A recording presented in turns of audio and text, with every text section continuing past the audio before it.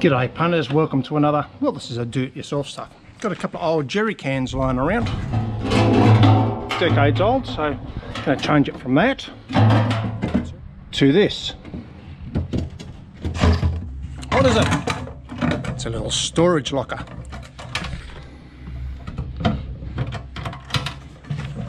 Good, eh? For your Matrix and uh, AOR people. Front jerry can holders the front of your caravan. Pretty cool, eh? Video is all about how I got here. What I started off with is the jerry can in the front there on the uh, jerry can holder and I marked a couple of little lines in particularly around the back here, the lower point. And you'll see lines already. There's the original lines for the bracket. And I've come up a little bit. And then I've picked a spot below this corner. It's about a centimetre, I suppose. Thought that's a good spot to aim for and draw a line across. Transcribed, transcribed it across for a right angle, carried it across and cut up with an angle grinder. Let's have a look and see what I do. Now that I've got the jerry can all cut up, I want to try and retard some of the um, potential rust that may occur around the cut. So I've just got some of this Kill Rust matte black and I'm just going to treat up the edges both inside and out, both top and bottom before I go ahead and stick uh, the P-seal on or the pinch weld.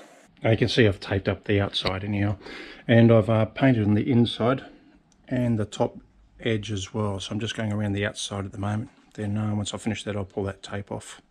There you go.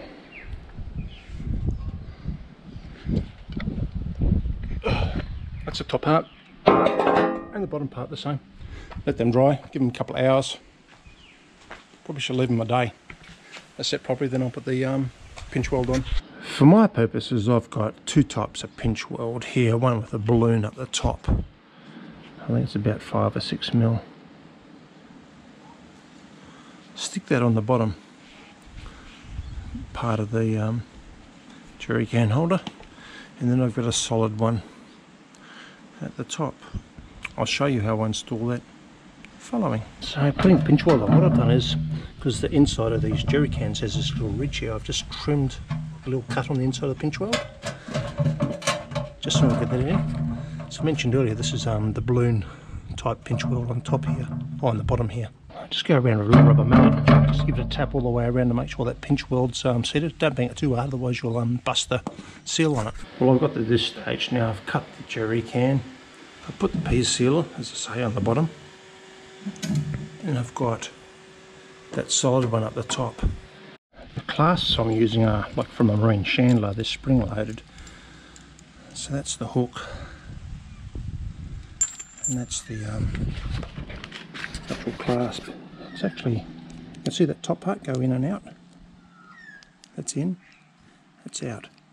Hinges, pretty just basic sort of stuff, stainless steel, again from the Marine Chandler. Well, finished product. I ended up using rivets, um, not the countersunk stainless steel bolts that I had.